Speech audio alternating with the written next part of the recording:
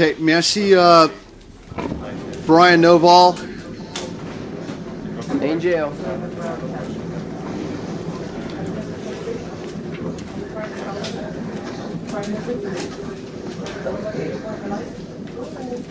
Sir, uh, you were charged with aggravated assault with a deadly weapon, domestic violence battery. The court finds probable cause of their priors on um. What, what is this case? Okay, what's that case for? What's the case number?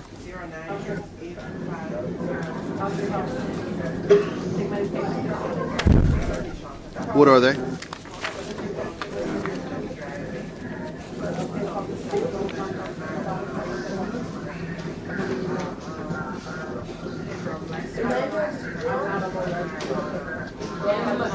Daniel Duhill.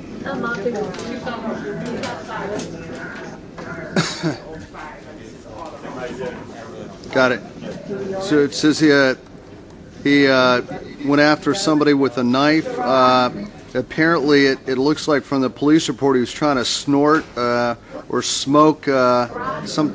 I didn't know. How do you smoke prescription medication? Is that when you grind it up and you put it in a pipe? Yes, I think that's it. I think you grind up oxycodones and you. Never heard of something similar. It says it right here. It said he was trying to smoke his. argument with my father, and there was no weapon involved. Never. All right. Well, whatever. Okay. Based on the facts of the case, going after someone with a knife, court finds uh, there is a danger to the victim. Court's going to set count one at ten thousand. Count two, court's going to set that bond at ten thousand. Court's going to order he has no direct or indirect contact with Jesus Noval. No direct or indirect contact. Must stay 500 feet away from him at all times. Um, I'm going to order that uh, he's not in possession of any guns, weapons, firearms, or ammunition. Court's also going to revoke his bond on 098502 CF10. You're going to be held no bond, sir, until further order of the court. Thank you. Are you kidding me? Yeah, no, I'm not kidding you. That's the truth. You're not going anywhere. That's that's the truth. All right, thanks. All right, My Suzanne Walt. charge was battery. Oh wow, I know, man. But that's the way life is. What did he say?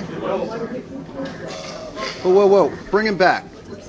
Whoa, whoa, whoa! Br- bring that guy back. Bring him back. Whoa, whoa, whoa! whoa. Hey, bring that guy back. You want him back, Joe? Yeah, I want him back right now. That wasn't good, but I was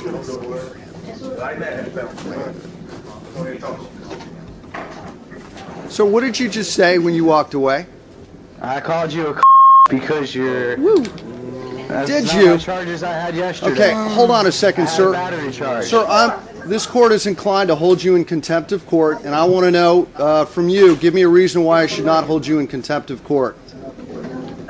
I'm, I don't see a reason why you shouldn't because Okay. there's not a reason this should be here. Okay, sir, I find you in contempt of court for using that uh, type of language with the court you just used.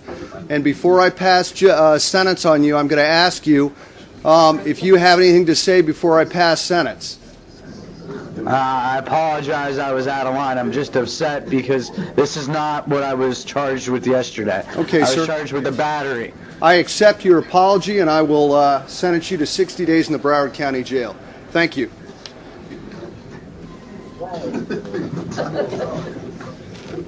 Can I take the back in? All right, sir, hold it. Come on back. Come on back, sir. Sir, I'm going to, uh, sir, I'm inclined to hold you in contempt of court again. Would you like to tell me why I should not hold you in contempt of court for the last thing you just said?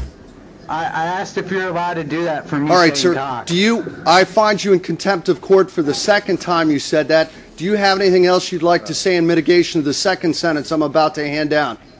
Uh, I was just asking my attorney if he can do that. All right, sir, you have nothing. I'm going to send you to another 60 days to run consecutive to the prior 60 days. So now you're up to 120 days in the Broward County Jail. Do you have anything else you'd like to say? Uh, nah. All right, sir, thank you very much. You're done. I didn't even know you can do that. All right, thank you. The judge. All right, I think you should move along. So it's going to be 60 plus 60, okay, to run consecutive. Thank you. He's got no bond anyways. Yeah. I'm, I'm sure he was addressing his attorney out loud in front of the microphone in front of the court.